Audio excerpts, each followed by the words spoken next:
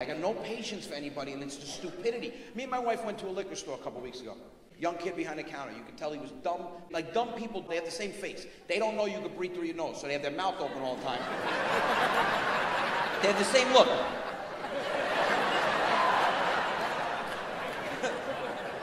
so I put three bottles of wine on the counter. I'm talking to my wife, and the kid goes, "Do you have ID, sir?" yeah, yeah. He looks at my license and goes.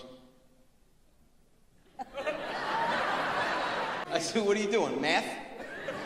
He goes, I'm just making sure. My wife goes, leave him alone. I go, leave me alone. Are you doing math? yes, sir. I just want to be sure. You want to be sure? I said, how old are you? He goes, 22. Are you old enough to drink? I am.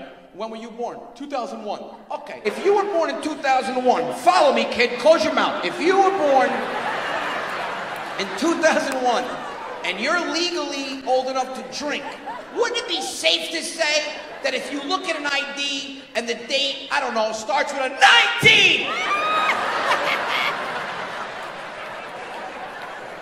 that we're good to pop these bottles? He goes, I just want to make sure. Stop yelling at me. I said, Oh my God, you're going to work here for the rest of your life.